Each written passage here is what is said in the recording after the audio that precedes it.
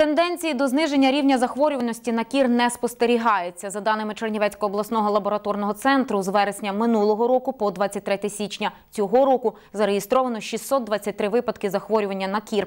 Більшу половину з них зафіксували протягом поточного місяця. Серед захворілих 494 дитини. Вони або не були щеплені проти кору, або отримали лише одну дозу вакцини. 93 дітей госпіталізували. Згідно перерозподілу зі е, департаменту охорони здоров'я, нам зі Сторожнецької центру первинної медико-санітарної частини було доставлено 50 доз е, вакцини проти кору красного паротиту Пріорикс. На першу годину вже закінчилась вакцина, вакцини не було.